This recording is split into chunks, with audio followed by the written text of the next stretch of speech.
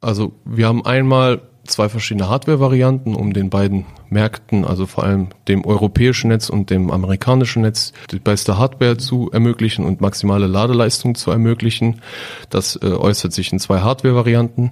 Genau, dann haben wir noch einmal softwareseitig die Unterscheidung zwischen einer Standalone-Variante und einer Slave-Variante. Okay, erklär kurz. Genau, also die Standalone-Variante ist eine ganzheitliche Lösung.